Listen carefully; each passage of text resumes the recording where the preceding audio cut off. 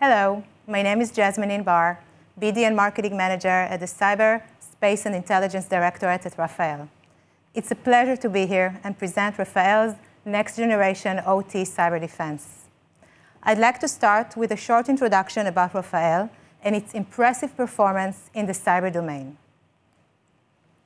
Rafael is an international defense company that develops and manufactures advanced defense systems for the Israeli Defense Forces and the defense establishment, as well as for diverse customers around the world for over 70 years. Rafael is a government-owned company and serves as Israel's national laboratory for Center of Excellence in several disciplines and technologies. Rafael is a world leader in diversified area of innovative, integrated, and interdisciplinary solutions at the leading edge of global technology from cyber defense, image solutions, artificial intelligence, electro-optics, image processing and analysis, air superiority systems, missile technologies, space, ground and maritime systems. Rafael is home to state-of-the-art technologies and patents, but most importantly, Rafael employs the best scientists and engineers, thereby creating solutions not only to cope with today's problems, but solutions to address the most complex challenges in years ahead. Rafael has more than 25 years of experience in the cyber domain.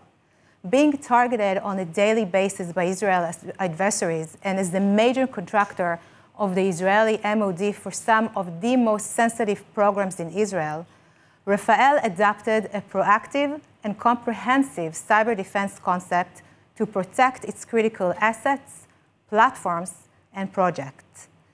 That, together with being the National Cyber Lab for the Israeli MOD, built Rafael's vast cyber experience both in the IT and the OT domains. Today, Rafael offers its customers a tailor-made cyber defense solutions based on its experience, know-how, and technologies. The approach is from cybersecurity to cyber defense we are offering a comprehensive cyber defense and addressing technologies, personnel, intelligence, information methodologies, and processes. Rafael's cyber solutions include assessment, design, deployment, training, and support. Our cyber portfolio includes national projects combining both the IT and the OT domains. Rafael has designed, implemented, and is operating the Israeli CERT, the largest national level cyber program in Israel, as well as other CERTs around the world. It is also interesting to see how we've taken our unique core cyber technologies in the defense industry and made them available for the civilian market. We've done projects for central banks, as well as orchestrated a one-of-a-kind unified IT and OT SOC, which monitors the entire operation of Israel's railways, covering all the IT and administrative information for all systems, as well as the OT data coming from the railway itself, including signaling, electricity, etc. The need for OT cybersecurity grows exponentially the high cost of industrial equipment and the devastation to communities and economies that an attack could generate are key factors for organizations looking to protect their industrial networks. In recent years, industrial control systems have become digitized, and, digitized I'm sorry, and connected, and operational technologies are being exposed to a multitude of security threats, some unique and some originating from the IT security world. Some of the well-known OT cyber uh, attacks in recent years are Triton, Black Energy, Stuxnet, Industroyer, and in addition, many other uh, lower profile OT attacks were detected. And in most cases, the detection and attribution to the cyber activity was only in the post-mortem stage after the damage to the OT system was already done. The need for a better cyber monitoring, investigation, and response in the OT sectors is clear. And there is a slow but consistent move in large organizations towards improving OT security and in some cases building OT SOCs, although OT networks have some common cybersecurity similarities to IT networks. there are also major differences. The threat landscape is different. The potential risk is different. And therefore, the response and remediation is different. This leads to the requirement to have an OT cybersecurity system which addresses the security challenges of all layers, including an OT SOAR.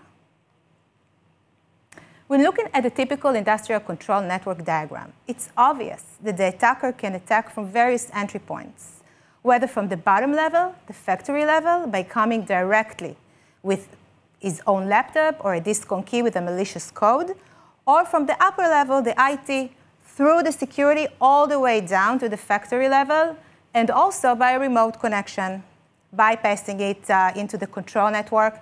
And these are just examples. What I'm trying to emphasize is that we have to have a security OT solution for all layers to cover all aspects and all attacks. And that's where Rafael's Dome comes in place. A new level of protection to SCADA systems, delivering a unique protection for critical infrastructures which goes beyond currently available network analysis solutions. SCADA Dome a complete solution for all layers, the physical layer, the network and computing layer, as well as the situational awareness level. And now let's dive into the solution. We put a great amount of emphasis on the lower level, the SCADA environment, with Rafael's own patented product, the SLI. The SLI provides physical cyber protection for the plant itself which continuously monitors the physical industrial processes and alerts on cyber attacks based on the analyzing or the data collected by physical uh, sensors in the plant, for example, pressure, temperatures, um, RPM, etc. The system then informs the engineers where the attack is taking place and what, what actions need to be done in order to mitigate possible damages.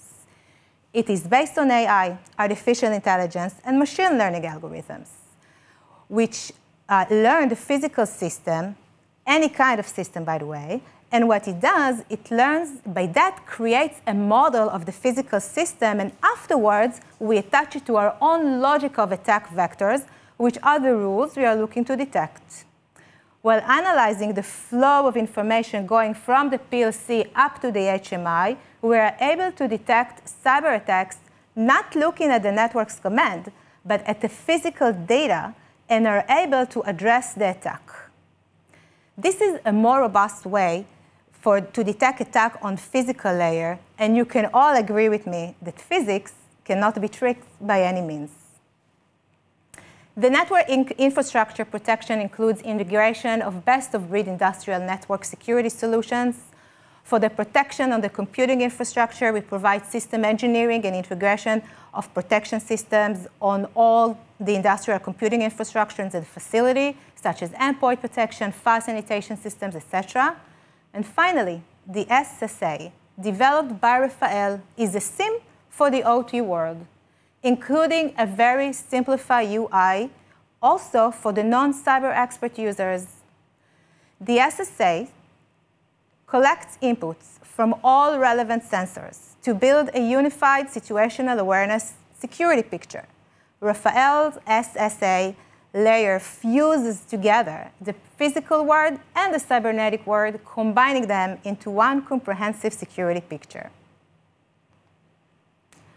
Throughout the years, Rafael has partnered with local and international companies to strengthen its cyber capabilities, and this has proved itself as being a success. We are keen to partner with the OT industry and invite you to join the journey and partner with us. Thank you all for listening. I hope the next time we'll meet will be face to face. Until then, stay safe and all the best.